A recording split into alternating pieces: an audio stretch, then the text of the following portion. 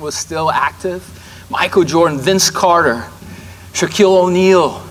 They're all like dunking in all different unimaginable and imaginable ways, whatever they can think of. They were doing that kind of stuff. And I wanted to dunk like they do. So I decided to pursue my dreams. So I decided to work hard for it. I started to work on leg exercises and uh, better and more efficient ways to jump. I didn't work on my core, probably that was my fault. But uh, I tried to do all these different kinds of things to no avail.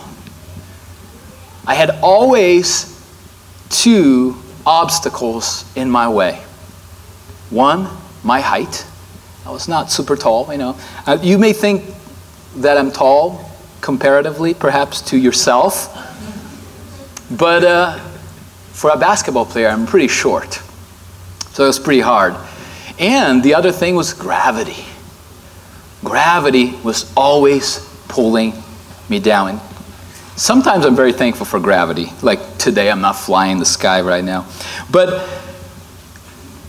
I, I, I decided to work hard and, and work pursuing this dream. And, uh, but there's always something pulling me down. I couldn't just dream like that song says, you know, I believe I can fly. I believe. So I, I was that believer, but I couldn't really fly. The rim, uh, the rim seemed so tall and I was so small. Gravity kept pulling me down. So there was a time when I actually finally came to grips with the fact that I would not dunk this basketball. And that day was actually a very freeing day for me. Because then I finally dawned on me like, hey, three points are more than two. So I started shooting the three pointer, and you know, I actually became quite satisfied and, and happy by being a, a decent three point shooter. So, anyway, why I share all this story about my basketball endeavors and my, my dreams that were broken by basketball is I share this because a lot of times our failures, the obstacles, the difficulties, difficulties that so often we believe come in the way between us and our dreams. A lot of times, these circumstances, God uses to direct us in the direction of His dreams for us.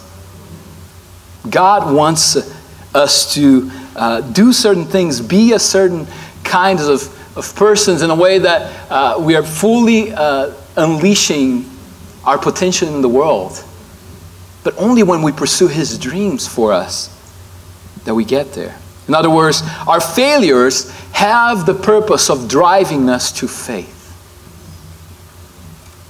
So this morning, uh, we'll continue our series in the book of Galatians. We, we've been going through the book of Galatians, discussing, uh, you know, Paul writing this letter. That's why he wrote the letter uh, to the church of Galatia. To, because he was really concerned with them. He was concerned because they were starting to get a little confused about what the gospel really was, what, uh, you know, how a person came to faith in Christ. And the reason for that is that they were confused because there was some group of uh, religious leaders that moved from Jerusalem. They were probably doing their missionary journeys, right? They moved Jer- from Jerusalem into their area in Galatia there, and they were beginning to get them confused. They were telling them that uh, the faith that you placed in Jesus is not enough. You need more than just that. You need works. But these Galatians, they had been, uh, you know, they had placed their trust in Jesus. They had been walking by faith, but now they were getting a little confused. Is faith enough? They're probably asking. What else must I do to be saved? Do we also must keep the law of Moses in order to be saved? You know, in Paul's response and exhortation is this letter to the Galatians. And what Pastor Ed preached last week, you know, started, he's trying to do that, Paul's trying to do that, showed them that they started the Christian life by faith, and they now must continue it by faith. So today, as we explore another section of this book, we'll touch in a key passage in the book, and that's Galatians 3, verses 15 through 22. And here we'll learn that while the law never had any power to save us, the law has a significant role to play in driving us to faith in Christ. So today is going to be a little bit different. Usually my messages are filled with stories. Today I won't have as many stories. However, I think there will be a lot of relevant and very important information that uh, it will be very good for all of us to be reminded of or learn for the first time. So I didn't have time to put the PowerPoint in the back, but hopefully Pastor Bernard uh, did or not. that means that means no, that's that's that's all right. That's all right. That just means that we're gonna have to pick up a Bible. If you don't have one, we have in the back, or if you have in your app in the in the in your phone, uh, you're gonna have to use that today. But let me just read to us verses 15 through 22. To give to give a human example, brothers, even with a man made covenant, no one annuls it or adds to it once it, it has been ratified. Now, the promises were made to Abraham and to his offspring. It does not say, and to offsprings, referring to many, but referring to one. And to your, your offspring, who is Christ, this is what I mean. The law, which comes 430 years afterwards, does not annul a covenant previously ratified by God so as to make the promise void. For if the inheritance comes by the law, it no longer comes by promise. But God gave it to Abraham by a promise. Why then the law? It was added because of transgressions, until the offspring should come to whom the promise had been made. And it was put in place through angels by an intermediary. Now, an intermediary implies more than one, but God is one. Is the law then contrary to the promises of God? Certainly not. For if a law had been given that could give life, then righteousness would indeed be by the law. But the scripture imprisoned everything under sin so that the promise of faith in Jesus Christ might be given to those who believe. Dear Heavenly Father, we thank you so much for your word. We thank you so much for your promise. The promise that gives us life. We pray now that as we study a little bit the, the relationship between promise and law, we will learn and understand that there is a place for the law in driving us to faith. In the name of Jesus, I pray. Amen. Okay, as Paul makes his argument, he uses a lot of information, as I alluded there before. He uses a lot of information that will cause my message to be a little bit different, but I believe it's important for us to, to take a look and, and few things here. And the first thing I want to take a look at is this. Talk about these two guys. One of them is Abraham, and the other one is Moses. Basically, all that is written here is connecting the two, talking about the connection between the promise and the law given to each one of them. So, early in the Bible, let's start with Abraham. Early in the Bible, God calls a man named Abraham. And to him, he give, give a promise. It's one of the first things that we see when God calls Abraham. And he says, you know, he calls him out of the land of Ur, where he was uh, living, and move to move into uh, a new, a new place, a, pro, a land that he would give Abraham. And he says this, I will make your, you a great nation, and I will bless you and make your name great, so that you will be a blessing. I will bless those who bless you, and him who dishonors you I will curse. And in you all the families of the earth shall be blessed. So, this is a big promise God makes to Abraham. And this promise was ratified, in other words, made legit, you know, through a, by a promise in Genesis chapter 15. And he restated this by giving an illustration. You remember the, the story of uh, God asking Abraham to sacrifice his son Isaac? You know, some of you may, may know that. If not, you should read Genesis chapter 22 uh, when you know we're done here, and just be reminded. Uh, just think about that, that as he's reminding him of the promise he had made to Abraham. And then this promise is passed on to Isaac and then to Jacob and so on and so forth with all the descendants of Abraham. Now, this promise, while certainly designed to uh, have an immediate application for the natural descendants of Abraham, the Jewish people, it was also designed to bless all the families of the earth, as we read in the promise, right? So there is a bigger uh, picture here with this promise. So this is Abraham's interaction with God first. Fast forward some 430 years, God called another man. And he is not explicitly mentioned here, but he is implied as the intermediary. It's Moses. This is the other man. He asked Moses to, you know, stop. He was shepherding sheep and uh, get out of there. I want to use you to confront Pharaoh and free my people from slavery in Egypt. So that's kind of Moses' role, right? So he goes to Egypt, confronts Pharaoh, and he's bringing the people out uh, from Egypt. And then after they, they leave Egypt, God says, You're gonna, or it says before that, but he asks Moses as well to do another thing to give his people his law. So Mo- Moses go up the mountain, meets with God. God gives him the law, some 613 laws, and he gives to Moses, and Moses comes down, and he is supposed to bring that law to the people. Bottom line is this Abraham, with Abraham, God interacted with a promise by giving him a promise and with Moses by giving him the law. And the difference between promise and law are startling, they're huge. In promise, when God speaks to Abraham, when he's giving the promise, he says, I will, I will, I will, I will bless you. I will. When God is giving Moses the law, he says, you shall, you shall not. You shall, you shall not. So there's, there's a big difference in the language that he communicates these covenants. In promise, God reveals his plan. His plan for Abraham and mankind. He kind of like unveils this is what I'm going to do for you. In the law, on the other hand, God shows the way of man, man's responsibility towards God.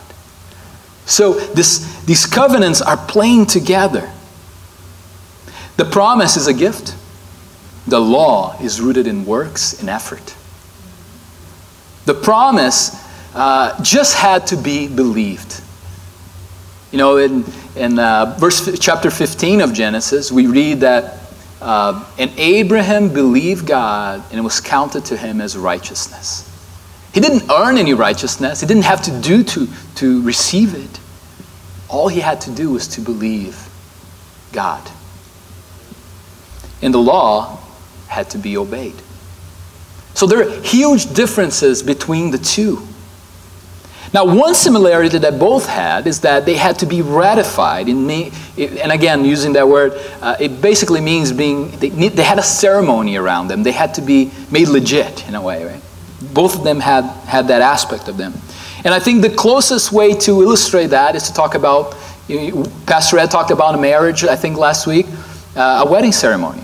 A wedding ceremony, I guess, would be a visual reminder for us today of what a covenant looks like. So I would like to ask the expert about uh, wedding covenants, right? So Pastor Ed is the expert. He, he has married how many people? Like some hundreds of people now? So he's more than that. He's, he's the expert. So let me just ask one simple question. Why do people choose to get married? Oh, lots of good reasons. Uh, Give me one. Um, the other person accepts them for who they really are. They don't have to pretend. Okay. So would you say that it's love? love. They love each other, right? People that get married, they love each other. A, and they want to now make this love public. They want to make sure that people around know that they love each other. So they make covenants, right? They make vows in a wedding ceremony to express that. But another thing they do, and I know the laws in Maryland or Virginia, or you know, I know you marry people on DMV, but uh, another thing that people usually do is sign a marriage license. And when you sign a marriage license, you have a witness. Whether you go to the courtroom or you go to the back room in a church, you know, uh, to write, you know, to sign the marriage license, there is that. Uh, that's kind of like what ratifies this covenant, what makes it legit. I don't know if Maryland they actually have signed the thing, but I think every, everywhere will be like that. But similar to the wedding ceremony, in both his covenants with Abraham and Moses, God has some ceremony involved in it. So let me just start with the Mosaic ceremony, which is the covenant with Moses, right? And I'm using all these words. I know it's, it's kind of like drinking from a fire hose today, but it's, it's, I, there's such depth and a lot of important information here that if we don't have a, an understanding of our background on it, everything else that Paul is saying makes no sense. So, the Mosaic ceremony. In his covenant with Moses, God asks Moses to gather all the people of Israel in one place so Moses can read the law to them. So that's what Moses does. When he comes down from the mountain, he, he gathers all the people, and now he's going to give the law that God gave him to the people, right? And as soon as they read the whole law, the people say, We will keep this law. We will do everything that is in this law. And for those who knows the story, what happened just a few moments later? They didn't keep the law, right? They built an idol and they started worshiping the idol because Moses was taking too long come back from the mountain or something. So, uh, you know, they couldn't keep even for a minute that law. In the Abrahamic uh, ceremony, which the covenant with Abraham, God prepares a covenant ceremony in which animals are cut into, they're brought to Abraham. He tells Abraham, go bring some animals, cut them in two, and make an aisle with them. Because this was a, a, a way that people did covenants between two parties. And uh, we'll talk more about that later, but both parties entering the covenant were supposed to walk down then this, aisle uh, as a sign of their commitment to the covenant. Now, the interesting thing is this in this covenant, when it came time for them to ratify it and walk down the aisle, which, you know, God waited. God waited until it was not dark, it was night, and Abraham fell asleep. So then God walks this covenant by himself. Moses or Abraham didn't, did, he was sleeping. He didn't have to, to do it. In, in a way, God is, is doing this. In essence, he's saying, the promise I'm making you today, Abraham, this promise doesn't depend on you. It depends on me. I will keep my promise, whether you keep your side of the bargain or not. I'm making a commitment to my own self to bless you and all the peoples through you. Now, no wonder the Galatians were confused. Going back to our passage, no wonder, they were very confused. These two covenants are so different, but the same God give them. He's the same God, but He gives two different covenants like that. Now, if we believe that God does everything with a perfect purpose because He is the truth, uh, He is the way, He is the life, then both covenants must have their place in God's redemption plan. And they do. So, anticipating the fact that the Galatians would be a little confused, Paul uh, begins in verse 15 by saying, you know, even with a man made covenant, no one annuls it or adds to it once it has been ratified. So he, he goes on to explain a little bit more what was going on here. And here Paul is likely making a reference to, by the way, ancient Greek wills that could not be changed, even if uh, the person was still alive. You know, they could not change a will. Uh, it would be always the same and could not be annulled by a new will. You could add a new promise in it, a new stipulation in it, but you could not change the previous ratified will. Anyway, in verses 17 and 18, then Paul goes on to explain the Mosaic covenant and the law, even though it was given, you know, comp- compare with the Mosaic covenant and the, and, and the law, that uh, even though it was came 430 years later, it could not change the first one, The promise was still valid. Now, how then? It's probably the question that you're asking. How then? In verses, uh, you know, in the remaining of the, the uh, this, this message, like how then these two fit together? How the, the law and, and the promise, they fit together. And I think this is what Paul does in the remaining verses of this passage here, verses 15 through 22. Paul explains it by discussing, and I'm going to just call it this, two ways the law can drive us to faith. I believe that he's, he's doing that in the next, um, in the next few verses. And I, want, I would like to focus on that. Two ways the law can drive us to faith. And the first way the law drives us to faith is this the law exposes our problem. Why then the law? In verse 19. It was added because of transgressions until the offspring should come to whom the promise that had been made. It was put in place through angels by an intermediary. Now, on, an intermediary implies more than one, but God is one. Why then the law? Because you know, God asked this, uh, Paul asked this rhetorical question, and he goes on to explain that it was added because of transgressions. In other words, the law was given to expose our sinful hearts, to expose what's inside of us. If you have ever received a speeding ticket, you have probably come to the realization that speed limit signs don't really cause you to not speed. When you see that sign 65, the size 25, 35, they don't, they don't automatically stop you from speeding, right? They don't. In fact, they entice you to, to, to go over it. Oh, I can go 10 over, you know, I can go 10 over.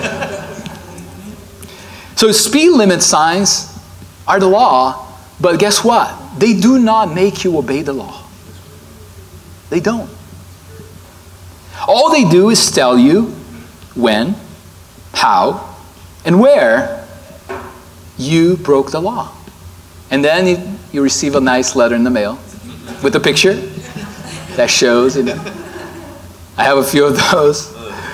But uh, all they do is tell you when, how, and where you broke the law. They remind you that you fell short, you crossed the line, you failed to meet the standard. That's all they can do. With that said, the law has never been the problem nor the solution for our problems. The law simply reveals to us that we have a problem. That's all he does. He reveals that we have a problem. And it's so easy to downplay the attitudes and the actions, the attitudes of our heart and the actions of our hands.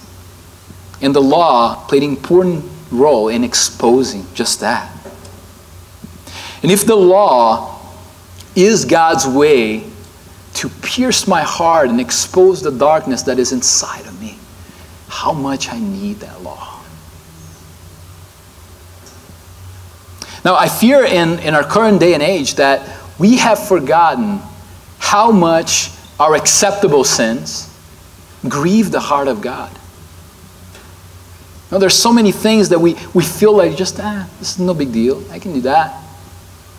But Jesus had to die for that.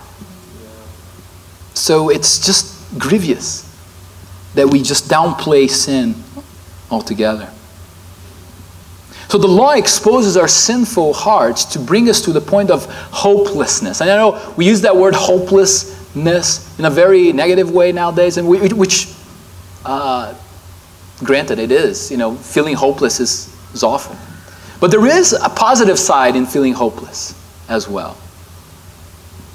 Eh, when we feel hopeless about our ability to earn God's favor, when we, we get to the point that, oh man, I can't do this. I'm just too bad. I can't reach to the clouds and be holy. I can't do it. Then, when we get to the point of hopelessness, then we can begin starting to look outside of ourselves for a solution. Because we cannot bring holiness upon us, it has to be uh, given to us by the Holy One. So earning our righteousness was never the law's purpose. Jesus' purpose was to do that. So the law drives us to faith by exposing our problem. But also, the law points us to the promise. In verses 21 through 22, as Paul wraps up, uh, wraps up his uh, explanation on how the promise and law completed uh, each other, he writes Is the law then contrary to the promises of God? Certainly not. For if a law had been given that could give life, then righteousness would indeed be by the law. But the scripture imprisoned everything under sin so that the promise by faith in Jesus Christ might be given to those who believe. Is the law then contrary to the promises of God? Well, no way. Paul is saying, no way. These covenants are not contrary to each other, they complement each other. When the sinfulness inside of us is exposed, again, we are then able to look outside of ourselves for a solution. And we have to have the promise then. When we are looking for, a, you know, inside of us, we need to have the promise. If we don't have the promise, we have no hope. We have no ability to be, be healed and be fixed and be restored. There's no way to do it. So when we accept that, that we are not self sufficient beings, that's when we can begin uh, the process of restoration and be uh, made perfect, made new. Faith in Jesus Christ is driven by our ability to see who we really are. So the law can drive us to faith. But it will, it will do it only as we allow it. And I'm going to conclude here with this, but you know, you see, there, there are two great problems that often keep us from driving to faith. Two great problems. One, we downplay the significance of sin.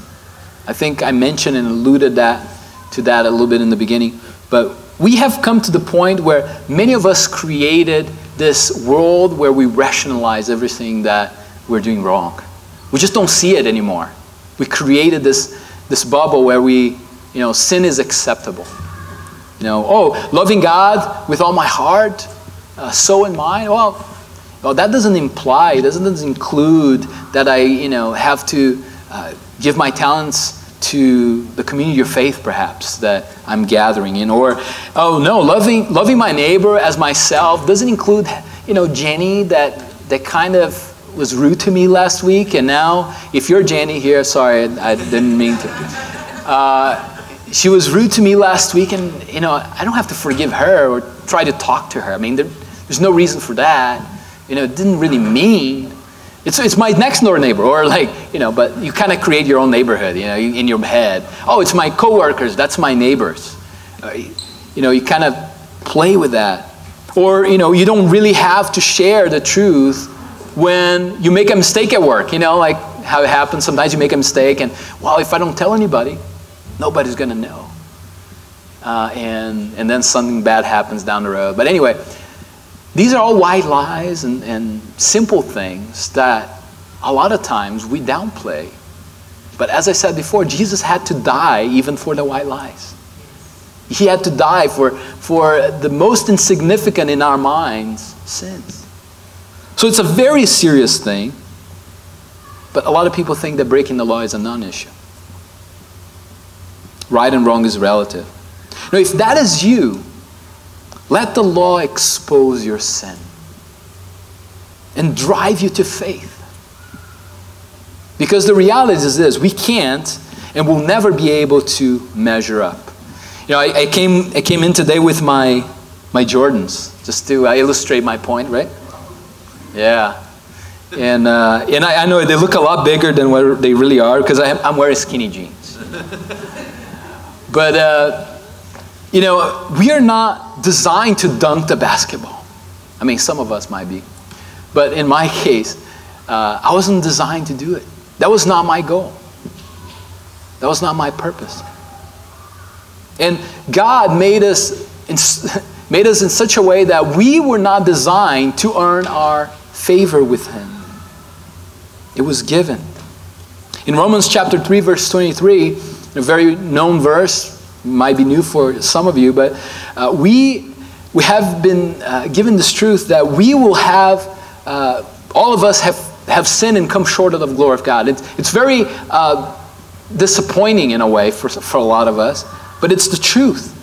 And we need to get to the point where we stop fooling ourselves and run to Jesus. He's the only one that can heal us from our self righteousness. And the other problem keeping us from driving the faith is this we downplay the significance of God's forgiveness. Oh God, God can never forgive me. He will never forgive me for what I've done. And we downplay the role of God's forgiveness towards us. And if that is you this morning, know this. While we were yet sinners, God or Jesus Christ died for us. While we were yet sinners. You didn't have to clean up, get your act together. While we were sinners, He died for us. Now, remember that ceremony, the Abrahamic ceremony, where they did, you know, add, God asked Abraham to do this kind of gory thing of cutting the animals in half, putting in an aisle, and having the parties walk through it, you know. If you can remember that covenant, there's a special thing about that ceremony. Which, by the way, uh, you know, walking by these animals, when they, walk, they would walk by these animals, they, they were pretty much stating to each other this May it happen to me what happened to these animals. So, the, as they were walking these covenants to, to solidify, to show their commitment towards the covenant, they would be saying that. May it happen to me what happened to these animals. And guess what? Because God was the only one walking this, this aisle. He was taking on the responsibility for both parties. If I don't keep the promise, Abraham, I will, may it be to me like these animals. But if you don't keep the promise, Abraham, and your descendants, May it be to me as to these animals. And guess what? Fast forward years later, Jesus Christ walked the hill willingly and gave his own life and was broken for us. And he did that because of our inability to earn for ourselves in Jesus Christ's sacrifice, you know, if you're that person that you, are wrestling, you know, forgiveness, I don't deserve forgiveness. Well, Jesus Christ paid on that cross for your past, present, and future sins. Because you will not be perfect. you know, there, there is the presence of sin in our world, and we are very influenced by it. We have been used, it's been a habit for us. So you will not be perfect right away, but God will will, will give you his perfection. So when he looks at you, he looks now at Jesus because he take, took our place um, on the cross, lifting our burden. So cease working to earn God's forgiveness. Accept it. Accept this free gift of God by faith and live. Now let's pray. The Heavenly Father, thank.